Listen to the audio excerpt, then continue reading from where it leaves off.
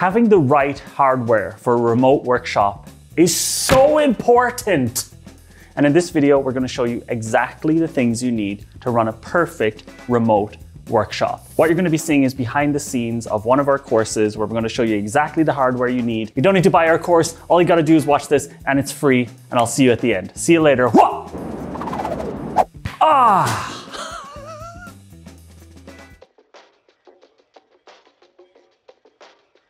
So when it comes to the ideal setup for a remote workshop, what everything needs to have as a baseline is a good connection and good audio. At the very least, even if people can't turn on their video because of their connection, they just need to be able to stay connected to the call and have access to the digital whiteboard throughout the workshop.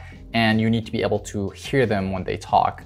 Uh, so those are the very, very basics. But for you as the facilitator or for your team, it makes the experience a lot better if you pay attention to every part of the hardware setup uh, and make that a more professional and pleasant experience for your team or your clients.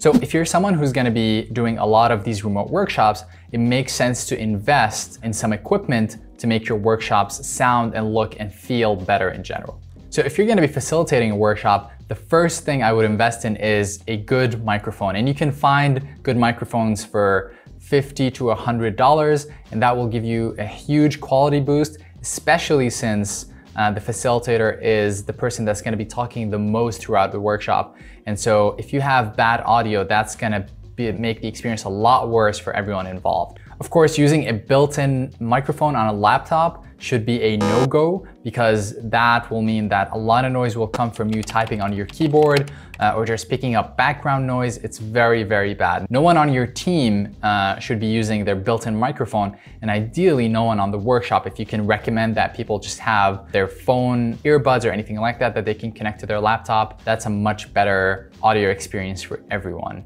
But for you, the facilitator, investing in a good quality microphone will go a long way to making the experience more pleasant for people uh, listening to you as you facilitate the workshop. Also related to the audio is that you should make sure that everyone is using headphones uh, during the workshop so that you don't get any feedback from someone's speakers then going into their microphone and making echo for everyone involved. So everyone should be wearing headphones and if you're gonna be wearing headphones for you know, a half day workshop, then it also makes sense to invest in some good quality headphones, or maybe the ones that you already have uh, are comfortable enough, but just make sure that you can wear them for multiple hours and not have them annoy you and you don't need, don't need to take them out. And so you don't need to spend too much money on this, but the most important thing is that you shouldn't be, or anyone else shouldn't be using their speakers and everyone should have headphones on. Now, when it comes to video, uh, you can use your laptop's webcam when you're in a pinch, but it's really better if you just buy an inexpensive webcam that you can place on eye level just so that you're not looking down on everyone as you're facilitating. And they usually have, like an external webcam will usually have better quality than what's built into your laptop. And equally important is the lighting that you have. So you should really avoid sitting in a dark corner or somewhere with really bad lighting because that'll just make your video as a facilitator look really, really bad. And what you can do is either just place your setup in a way, if it's possible, so that you have light coming at you and not from behind you. Um, and if that's not possible, you can also buy uh, an inexpensive you know, lamp for your desk or a ring light that you can clip onto your desk that will make your video a lot nicer. But if you can't buy equipment for your lighting, at least make sure that you're not sitting with you know, bright windows behind you or if you're not sitting in a, in a dark corner and only your background is bright. So make sure to try to avoid that. Next, let's talk about monitors. If you're gonna be facilitating workshops, it really, really helps to have either a really big monitor so that you can have both the digital whiteboard and the video call right next to each other so that you can see all of your participants' faces and you can be working on the digital whiteboard at the same time. Or even better if you have multiple displays, so maybe you have a laptop and an external display and you can put the digital whiteboard on one and the video call on the other uh, because it's really important for you as a facilitator to not just be in the digital whiteboard without seeing what's happening uh, with everyone. You don't know if, if someone maybe left their desk or uh, someone really like visibly seems like they're they ha they're having trouble with something. So it's really important for you, the facilitator, at the very least, to have a good monitor set up. I mean, it's not the end of the world if you're working on a laptop and you don't have a lot of room to work with, but still make sure to have the video visible in addition to the digital whiteboard. So maybe you can uh, tile your windows or like have it in split screen mode so that you can see both at the same time.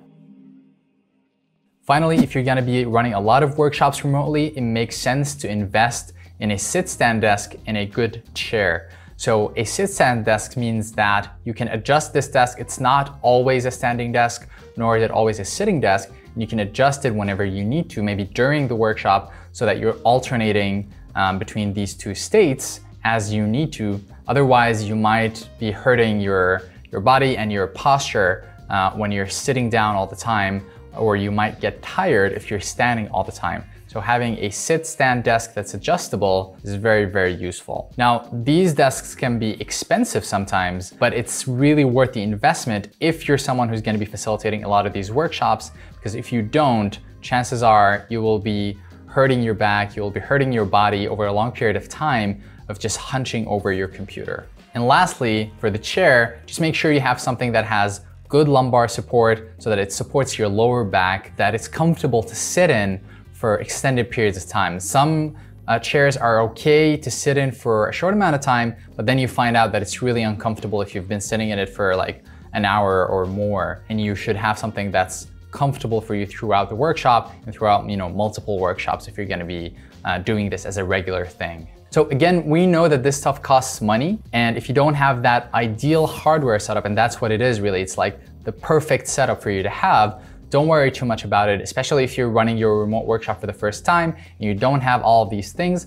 Just try your best to approximate that with good lighting, making sure you have uh, a headset and making sure your audio is good that'll take you most of the way there. But if you're gonna be doing this regularly, it makes sense to invest in this equipment just because it'll make the experience for everyone involved that much better.